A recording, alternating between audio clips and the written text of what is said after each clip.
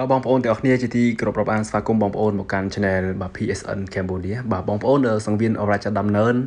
បានបញ្ចេញតម្រុយខ្លះខ្លះហើយ បាទពីការត្រៀមនៅក្នុងការបាទគូបគងឲ្យបាទកីឡាករ A Amarin របស់បាទកម្ពុជាប៉ះគ្នាសាជាថ្មីជាមួយនឹងកីឡាករថៃបាទកម្ពស់ខ្ពស់មិនស៊ីសងគ្នាប៉ុន្មាន Nabil ដើម្បីបាត់ជំរះមន្ទិលសាម៉ងនៅក្នុងចិត្តគណៈដែលពួកគេទាំងពីរនាក់ បាទធ្វើការប្រកួតកាលពីថ្ងៃទី11ខែវិច្ឆិកានៅលើសង្វៀននេះបញ្ចប់ទៅដោយលទ្ធផលស្មើគ្នាបាទបងប្អូននៅថ្ងៃនេះបាទសង្វៀនរាជដំណើរបានបាត់ផុសរូបភាពបាទរបស់ AM Marin ពូថងបាទជាមួយនឹង Nabil ដោយបានរៀបរាប់ថាបើការប្រកួតបានបញ្ចប់ទៅ គឺនៅសល់តែមិត្តភាពបាទរវាងកីឡាករកម្ពុជាបាទនិងថៃ វាអាចជាការប្រកួតមួយដែលបញ្ចប់ទៅ នៅក្នុងលទ្ធផលមិនល្អនោះទេសម្រាប់ពួកគេទាំងពីរនាក់ប៉ុន្តែយ៉ាងហោចណាស់បើរូបភាពមួយសន្លឹកនេះពួកយើងបានឃើញអំពីបាទការបញ្ចប់ទៅនៃការប្រកួតដ៏ស្វិតស្វាញរវាង Nabil ហើយនិងបាទ A Amrin Phuthong ថាវាគឺជារូបភាពដែលពួកគេបង្ហាញនៅការគោរពគ្នាទៅវិញទៅមក នៅក្នុងនាមជាមិត្តរួមអាជីព សូមរងចាំឱកាសនៅពេលក្រោយទៀត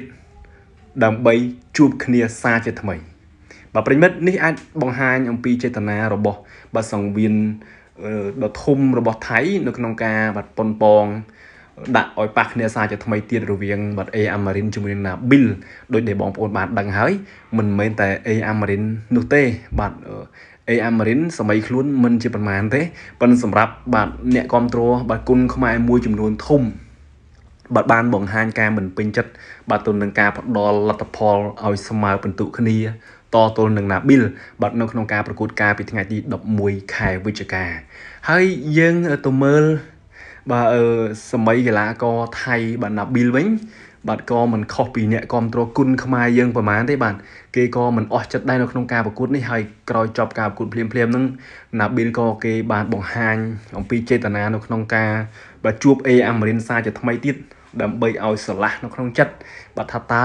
នរណាគឺជាជើងខ្លាំងពិតប្រកបប្រិមិត្តបានប្រិមិត្តដូច្នេះយើងមានតែរងចាំតាមដានមើលទេហើយជឿជាក់ថាជំនួបបើរវាងអេអាមរិនពូថង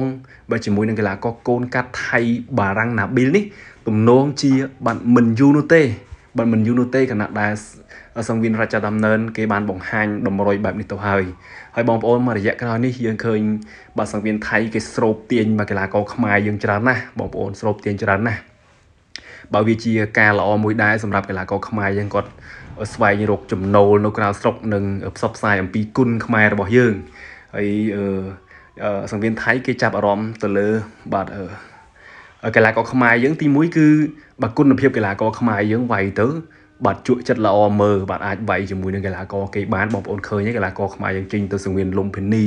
សង្វៀនរាជដំណើរនេះគឺជក់ចិត្តបាទជក់ចិត្តភាកច្រើនបាទអញ្ចឹងទី1គឺគុណភាពអាចស៊ីសងជាមួយកីឡាករគេវាយទៅជក់ចិត្តទី2ទៀតបងប្អូនគេចំណេញអញ្ចឹងហើយបានជាឥឡូវនេះថៃគេងាកមកបាទអឺចាប់ដើមតាក់ទាញកីឡាករខ្មែរយើងខ្លាំងបាទគេចំណេញយ៉ាងម៉េច ចំណេញដូចអេអាមរិនវាយថ្ងៃមុនអញ្ចឹងបងប្អូនឃើញទេបាទអេអាមរិនគ្រាន់តែវាយជាមួយណាប៊ីលនេះគ្រាន់តែ page នៅក្នុងស្រុកយើង live បន្តផ្ទាល់បងប្អូនមនុស្សមើល 150k